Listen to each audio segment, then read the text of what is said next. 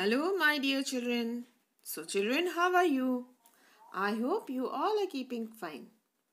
So children, today in English, we will learn to write small letter J.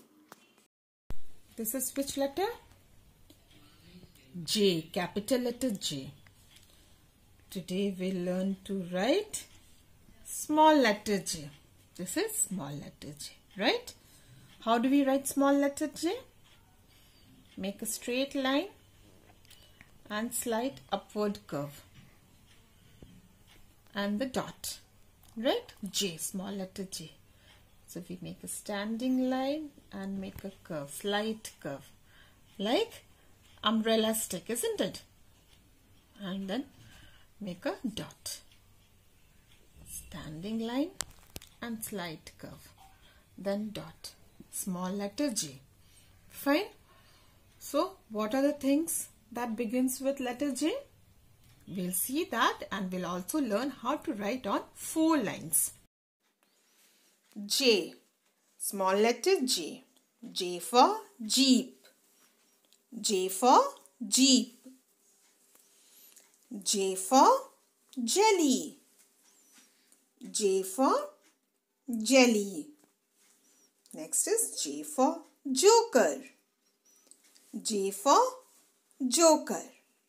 So now we will learn to write on four lines.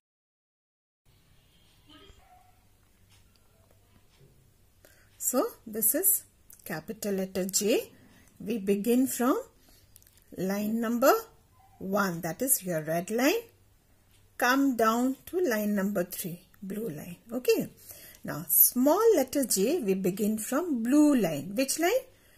1, 2. Line number 2. Blue line. And then we'll come down to line number 4. Red line. Fine. And then dot. J. Letter J. So, we begin from blue line. Line number 2. Come down. Make a slight upward curve and then dot small letter J. From this blue line come down to red line and curve dot letter J. From blue line slowly come down to red line go upward and then dot letter J. From blue line to red line line number 4 okay make upward curve and dot J, letter J. So slowly write slowly and neatly. Fine. So children practice this letter. We'll meet again in the next class. Bye children.